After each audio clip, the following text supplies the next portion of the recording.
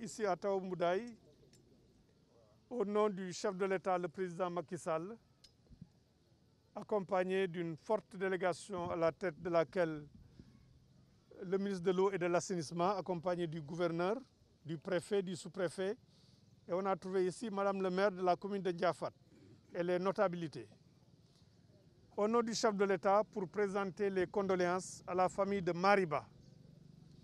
Mariba que nous avons perdu le samedi 5 septembre 2020 alors qu'il tentait de sauver de la furie des eaux un de ses compatriotes de communes et de villages.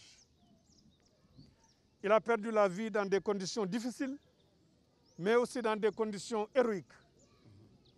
Nous sommes venus donc partager la douleur de la famille au nom du chef de l'État, au nom de toute la nation sénégalaise, présenter les condoléances à sa famille, leur, témoigner de notre solidarité, de notre soutien, mais en même temps prier pour le repos de l'âme de Mariba.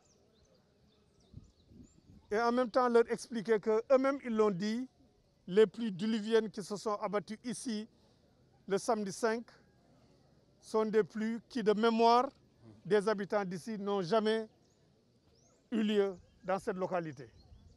Et je me rends compte aussi que les actions qui ont été entreprises par le gouverneur, les autorités administratives, la Brigade nationale des sapeurs-pompiers, ces actions ont produit des résultats.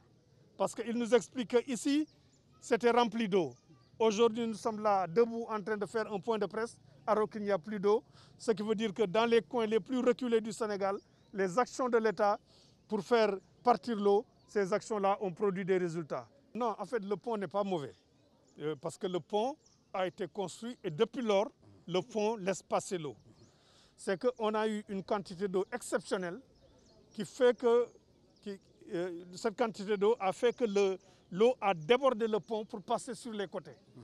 et, a pratiquement submergé ce, qu'on c'est un ouvrage de franchissement en réalité, c'est une buse, c'est une grande buse. L'eau donc a débordé la buse et puis le il y avait un, une charrette qui tentait de passer, qui était en difficulté. Mariba est venu pour sauver, mais il y avait la furie des eaux qui l'a emporté.